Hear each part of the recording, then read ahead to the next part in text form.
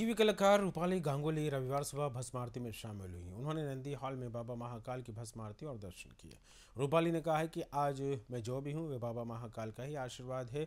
2020 में मैं पहली बार यहाँ आई थी और इस मंदिर में मुझे अनुपमा सीरियल का भी ऑफ़र मिला था। बाबा महाकाल से कुछ मांगने नहीं, बल्कि उनका आशीर्वाद लेने आई हूँ कि मुझ पर और परिवार पर सदा उनकी कृपा बनी रहे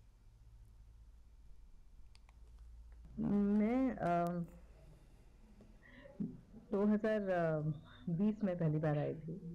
और तब जब मंदिर में बैठी थी तब मुझे अनुपमा के लिए फ़ोन आया था। तो एक जब लौटी तो वहाँ पर भी सबके हाथ में मैंने देखा महाकाल बाबा की मौली है। तो एक तरह से ये संकेत ही था कि आशीर्वाद है उनका। आ, तो बस तब से आती रहती हूँ। हमेशा जब ऐसे मन करता है उनसे मिलने का तो आ जाती हूँ। आ, इस बार पहली बार ये आशीष को लेकर आई हूँ। मेरा बेटा बनता है अनुपमा में तोशु।